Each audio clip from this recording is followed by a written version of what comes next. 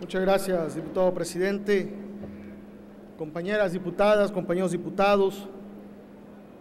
Vengo en nombre del grupo parlamentario del Partido de la Revolución Democrática a fijar nuestra posición y a señalar que nuestro voto va a ser en contra de este dictamen.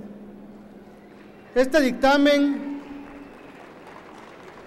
implica una gravedad que no estamos dimensionando.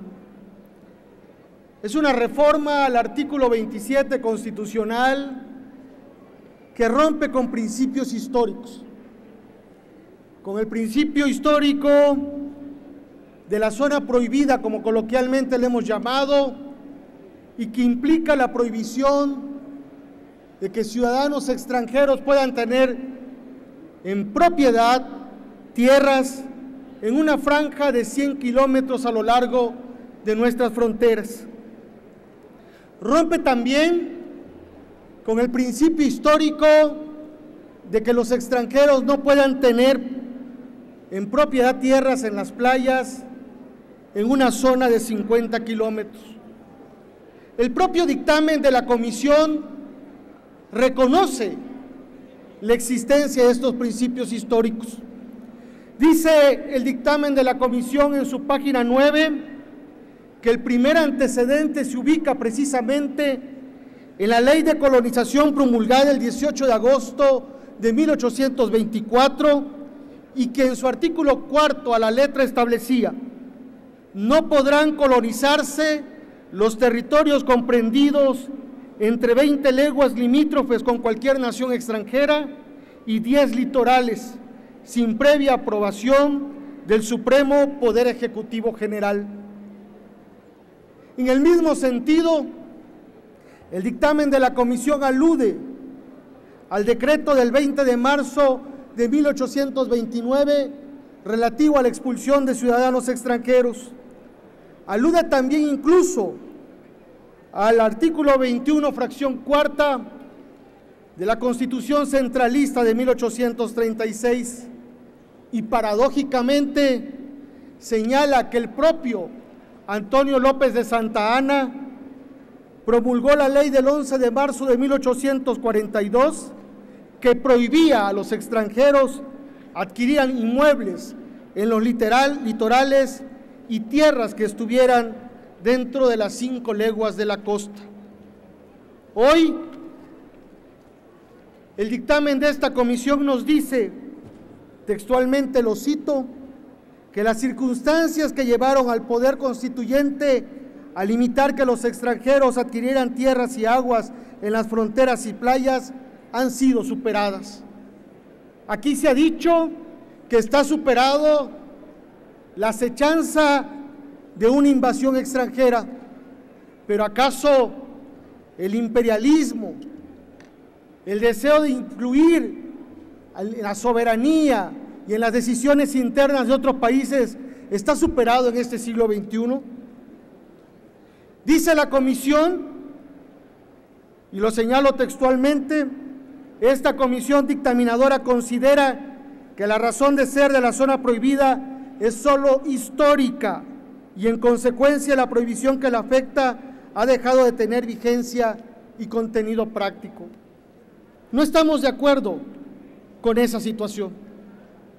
Consideramos también que hay una interpretación errónea de lo dispuesto por la Convención Americana sobre Derechos Humanos. Alude a ello el dictamen de la Comisión para fundamentarse. Dice, y cita textualmente el artículo 21 de la Convención Americana sobre Derechos Humanos, que determina el derecho a la propiedad y dice que toda persona tiene derecho al uso y goce de sus bienes.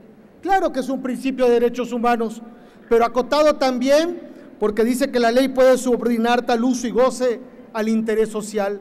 En ningún momento la Convención Americana de Derechos Humanos nos señala que estemos incurriendo en un error al limitar la propiedad de los extranjeros en la zona prohibida y en la zona de las de playas de esta nación. Queremos exhortar a que reflexionemos de lo que vamos a aprobar el día de hoy. Es muy grave esta reforma constitucional. Compañeras y compañeros legisladores, El país no está en subasta, mucho menos estamos en una venta de garage que nos surja a tener que despojarnos de estas zonas y ponerlas a disposición de los extranjeros. Reconocemos que existe simulación, que a través de fideicomisos hay propiedades, hay extranjeros que tienen bienes inmuebles en zonas de playas de este país. Claro que existe la simulación, pero la simulación no se resuelve legalizándola, porque entonces tendríamos que legalizar el ambulantaje, tendríamos que legalizar la venta de plazas al interior de petróleos mexicanos o al interior de los sindicatos de maestros. No es legalizando la simulación como se resuelven los grandes problemas de este país. Hay que hacer una serie de reformas que de manera integral se enfoquen a este problema que tenemos de simulación en materia de fideicomisos en las zonas costeras del país. Y yo quiero ponerles un ejemplo de cómo las propiedades extranjeras violan nuestro marco normativo interno. Ahí está el caso de San Miguel Allende, Guanajuato, donde se han asentado ciudadanos extranjeros y han adquirido grandes propiedades, viviendas que violando la ley las han convertido en hoteles boutique y que hoy, al amparo de todas estas omisiones e irregularidades, generan una competencia desleal para el sector hotelero guanajuatense y en específico de San Miguel Allende. Quisiera terminar recordándoles que el gasto en seguridad de nuestro poderoso vecino del norte ronda los 711 mil 421 millones de dólares. Con estas reformas que hoy estamos discutiendo, no es descabellado pensar que le saldrá más barato ir adquiriendo propiedades y convertir una zona de amortiguamiento dentro de nuestro propio territorio. Una zona de amortiguamiento donde sean detenidos los ciudadanos mexicanos con el pretexto de que se trata de propiedad privada, pero estando dentro del propio territorio nacional. Y el PRD por eso votaremos en contra de esta reforma. Votaremos por México, por un México pleno y para todos los mexicanos. Es cuanto, ciudadano presidente.